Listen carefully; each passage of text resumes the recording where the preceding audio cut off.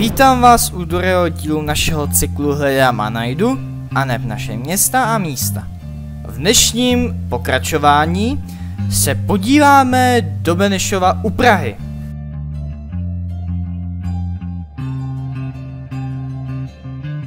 Dnes začínáme ve stanici Praha Horní Měcholupy a pojedeme přes Uříněves, Kolovraty, Říčany, Stránčice, spoustu dalších malých zastávek, potom Čerčany a takovou poslední malinkou zastávku a to je Mrač. E, e, hm? Vypadá to, že řádil kůrovec.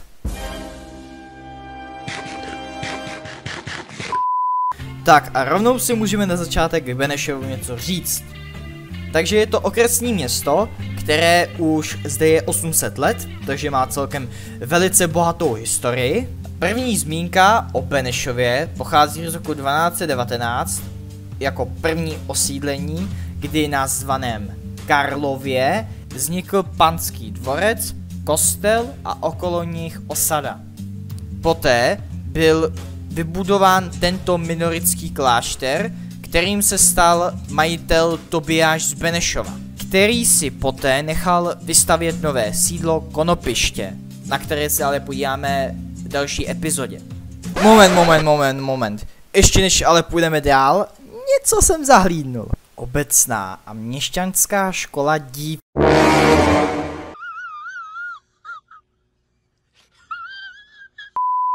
Po vymření Benešoviců nastoupili noví vlastníci a to Šternbergové.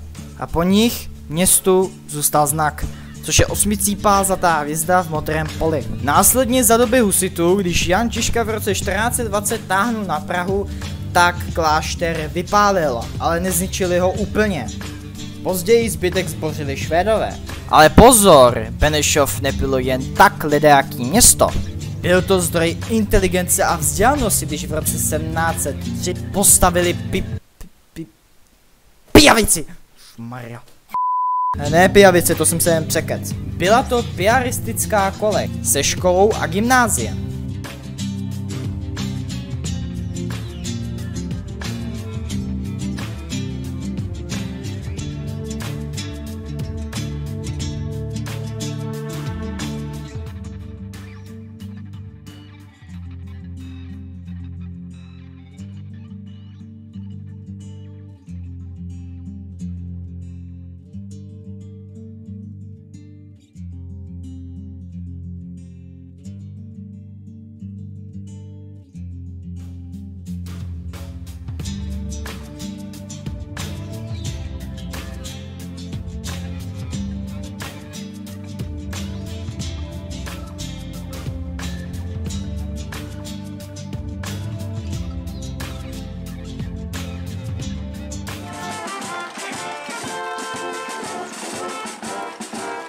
A nyní se pojďme vrátit zpátky na nádraží, kde se děje překvapivě další přelídka, tentokrát ale přelídka lokomotiv. Uh, uh, tenhle, tenhle elefant není v přelídce, ten jenom projížděl, ale tamhle, jak můžete vidět vzadu, tak místo těch dřev, co jsme měli na začátku, tak jsou tam teďka všemožné české, slovenské, dokonce i maďarské lokomotivy.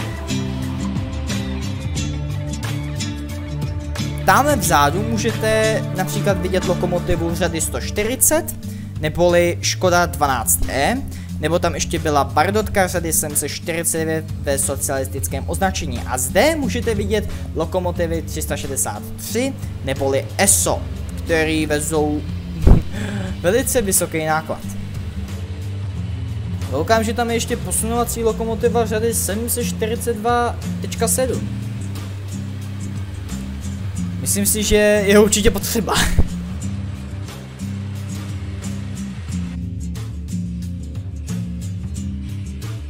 A na závěr tu teď máme výjezd lokomotivy řady uh, 433. Tady je zrovna 431, ale jsou to, dalo by se říct, velice v podstatě stejné lokomotivy a je to jedna ze speciálních lokomotiv, protože to je parní lokomotiva. A to se už dneska jen tak nevidí.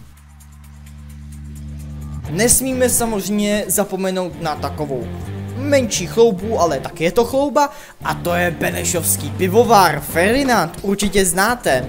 Další takový typický český pivo hned po Plzni. A po pití se poté můžeme podívat do galerie a muzea v secesní podobě na malém náměstí. A pokud byste si potřebovali zacvičit, tak tady máte i Sokol. A nyní se už nacházíme na konci, kdy nepřekvapivě jedu zpátky do Prahy. Takže vám chci poděkovat, že jste se na tento druhý díl hledám a najdu, ale v naše města a místa podívali. E, pokud se vám video líbilo, určitě můžete zde zanechat kladné hodnocení. Pokud nechcete přijít o další díly, tak určitě zanechte odběr a taky dejte zvoneček.